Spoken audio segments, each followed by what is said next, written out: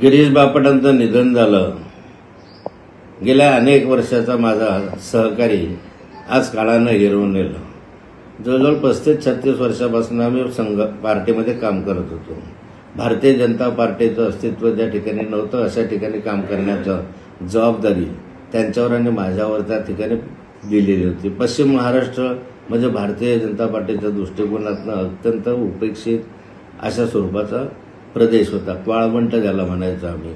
आणि त्या ठिकाणी सांगली सातारा बारामतीपासून तर पुणे जिल्हा अगदी नगर जिल्हा अशा स्वरूपाची त्यांची त्यांनी जबाबदारी योग्य रीतीनं पार पाडली. आणि चांगलं यश त्या ठिकाणी मिळालं.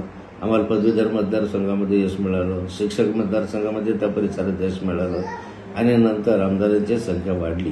पुणे शहरामध्ये त्यांनी अत्यंत चांगलं काम केल्यामुळे पुणे खास पुणे शहरामध्ये ही त्यांचा दबदबा होता त्यांच्याविषयीचा दा- आदर होता. आणि मी तर अनेक वर्ष त्यांच्याबरोबर प्रवासात राहिलेलो आहे सभागृहात काम केलेलं आहे. मी त्यांचा गटनेता होतो विरोधी पक्षनेता होतो. तरीही मला ते नेहमी सिनियर असल्यामुळे त्यांचा आदर आणि सन्मान मी सातत्यानं ठेवत होतो. असा माझा जवळचा मित्र गेला.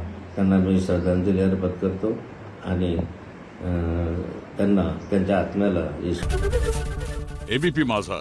उघडा डोळे बघा नीट.